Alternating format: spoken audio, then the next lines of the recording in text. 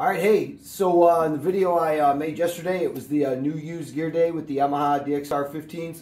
Check it out if you ain't seen it, but what we also got in was this replacement under saddle pickup um, for my Epiphone Hummingbird Pro uh, guitar.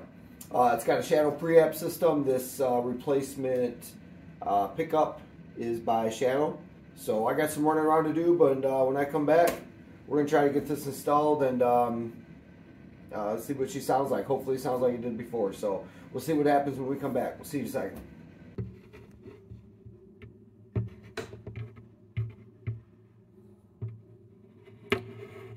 All right, guys, welcome inside my guitar. Not sure if this is good or not, but just a little look at uh, at what we're dealing with. There's the back side of the Shadow preamp there. I'll take you out.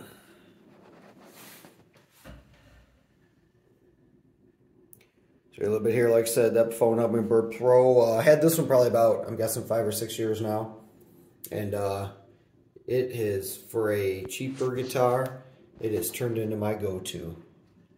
I've absolutely loved gigging with this guitar. It's a very dynamic guitar.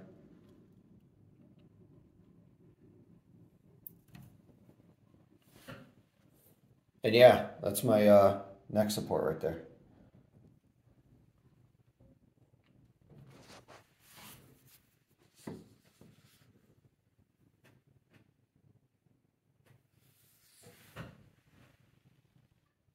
All right, so here is here is the old pickup, the under saddle that was uh, that I took out of there. I don't know what all you can uh, see for that or uh, not see from that. But um, so obviously this gets wrapped around. Here's a connector that uh, that plugs into the back of the preamp. What I uh, what what was happening was um, started happening a few times. Uh, gigging if I would um, start hitting a little heavy, I would start getting this slight um, cracking or popping sound. So uh, took the strings off one day. It just got so bad I I, I couldn't use it, and I, I, didn't know exactly what it was. So once I figured out there was a problem, uh, took the strings off, and then um, plugged the guitar in. Kind of went uh, feeling around. Took this out of the uh, the uh, connectors where they have it running up on the uh, upper bout there. took it off. first, I thought there was a problem right in here. It was kind of making it um, pop. I didn't know if this is where where this was been up in there at. Um, and then I seem to have traced it down to this area right here. While it was plugged in, strings were off. Um, I had this part out, left it plugged in, um, hooked it up from the end pin jack there into a uh, speaker, and then it seemed like everything was originating from right here. When I would touch this, I would start to get the pop. So what I believe happened was, uh, once I took this out, is the end of the uh, the wire here uh, that connects it seems like it had become partially disconnected from this piece right here. Not sure what you can see or can't see, but that's what I think was going on. So once I trace it down to here, once I once I did screw this out, and maybe you're not supposed to, but there are screws on it, then it was completely disconnected. Then I would get no no sound, no noise whatsoever. So we got our pickup, um, you guitar pros out there, which I absolutely am not. Um, this is the other part that was in under the um, in under the saddle, and I believe this is just a cheap wooden uh, spacer, um, just to so that would have the uh, somewhat correct action from the factory. So I believe that I'm going to end up putting this back in. Uh, the uh, the saddle, obviously, I believe this is saddle. Like I said, not the guitar. I always screw up the names. You got the nut, you got the bridge, you got the saddle. So um, that's it. This is what's going to be dropped back in. And this is the uh, this is the part number.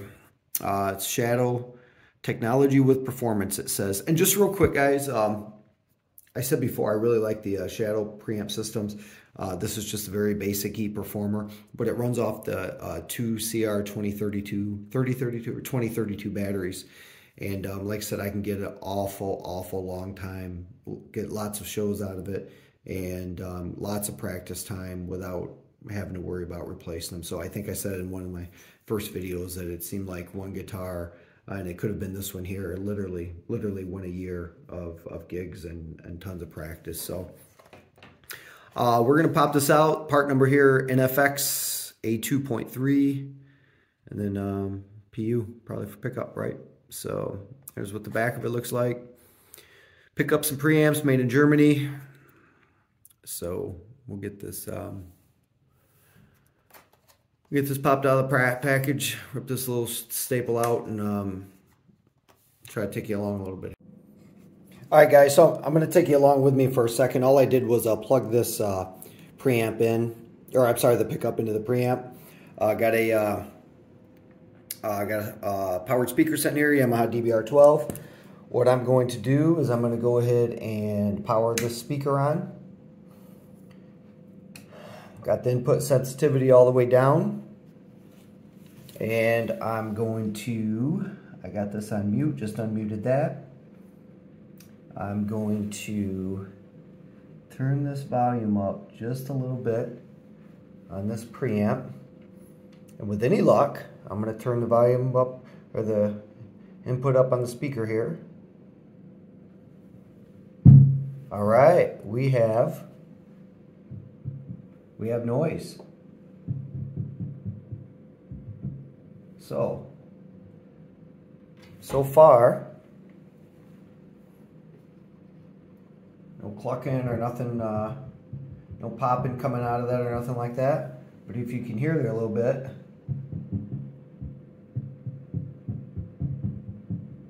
hope you can hear that. Anyways, uh, just a little um,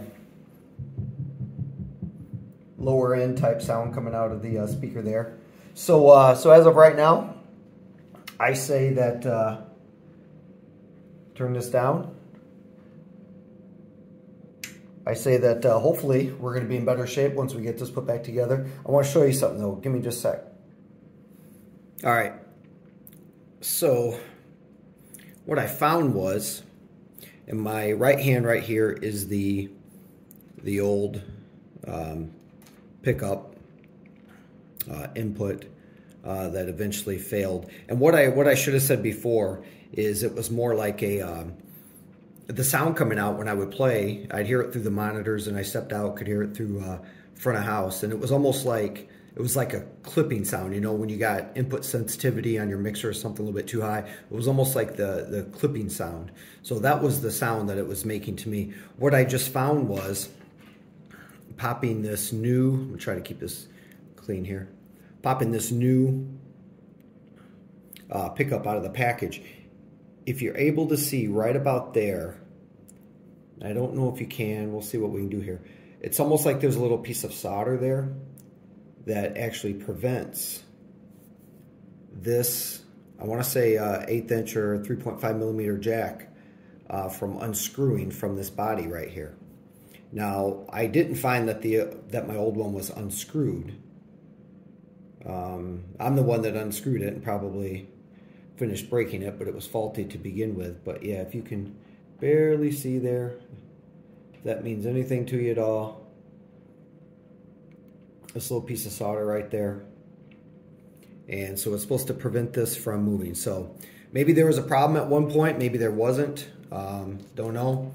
But if we take if we take the old one here, and this is the old one, and there was there was nothing on there at all, just simply uh, um, unscrewed. So who knows? You know, um, I I can't fault it because I I truly don't know, but we do know that uh, you know sometimes things are updated a little bit. So all I'm going to do is I'm going to take this uh, this new pickup, and I've never done this before, so a lot of you guys probably have. It's going to feed it through here.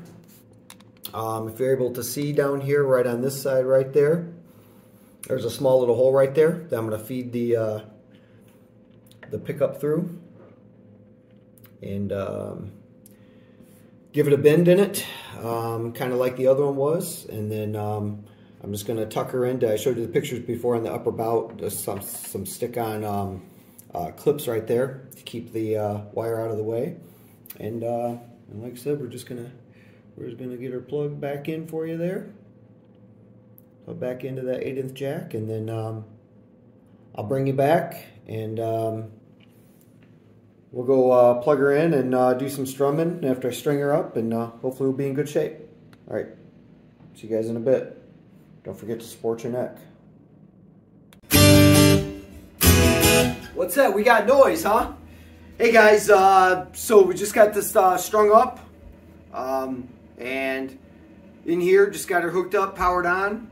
Uh, one thing real quick I want to tell you before I forget, the little clips that I mentioned that were inside this, the plastic like stick-on ones, I really didn't want to to put the uh, the wire from the pickup back in there. So I figured I would stick my finger in there and see how easy they spread apart. And they're really hard plastic from what I've seen and actually really pinched tight together and, uh, and actually one of them broke off. So the, the power output uh, to the uh, end-pin jack is still in there where it was from the factory. But I didn't put the new wire in there. Uh, I ended up breaking it, but it kind of, it kind of worried me a little bit. And I'll be honest with you, when uh, I first got this guitar, that pickup wire was so tight. It was they from the factory. It was like if this is your end pin, and or I'm sorry, the uh, the eighth inch jack, and this is from the wire from the factory. It was almost a 90.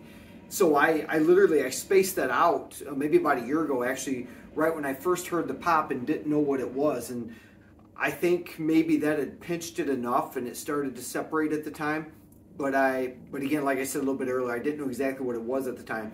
Um, when I started looking into things, I didn't like that bend in it. So, anyways, for now, to make sure I got it right, um, I didn't. Um, uh, I just kind of looped it to where it's kind of out of the way. I don't like those extra stresses on there. And honestly, that uh, that that AJ220 SCE I've been playing, I picked that one up recently used, and that one was a little bit tight, but not as tight as this one was. And so I uh, I separated, or I'm sorry, I lengthened that one a little bit too. So if you got these Epiphone guitars, do what's right for you, like I always say. But um, that was uh, um, uh, that's what I'm to do if I get any more of them. So um, other than that, yeah, just strung her up and um, uh, uh, line six um, G30 right here. Um, only disclaimer: 20 foot cord between the receiver and the uh, and the mixer, if that matters to anybody. But this is just I just want to make sure we got some sound. I did put that spacer, that wooden spacer I showed you in there first uh, with the pickup on top.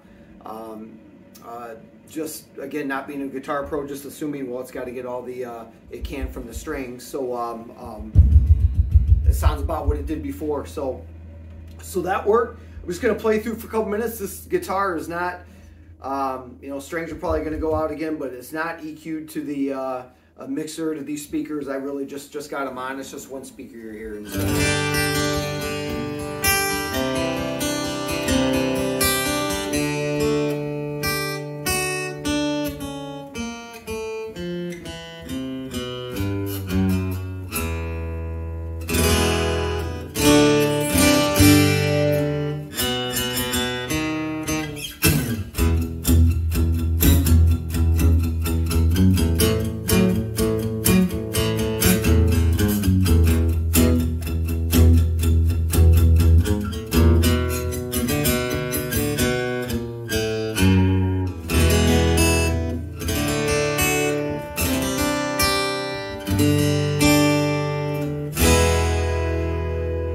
Besides a little bass heavy right now, I just want to listen for, um, kick that down a little bit, um, just want to listen for even pickup along all six strings and things like that. So um, luckily everything seems to be good. Uh, sounds to, uh, seems to sound about the way it did before, so.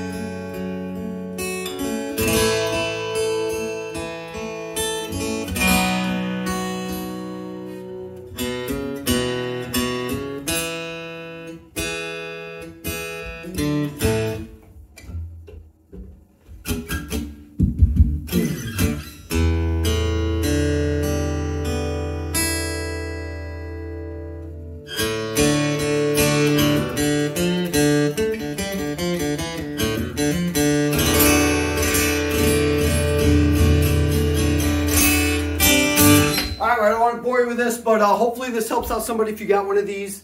Um, you started getting a cracking popping sound, or if you ever just had to replace the pickup. Uh, pretty simple, straightforward. I never did it before, so hope it helps somebody. Um, do good shows, and uh, you guys be good. We will see you soon.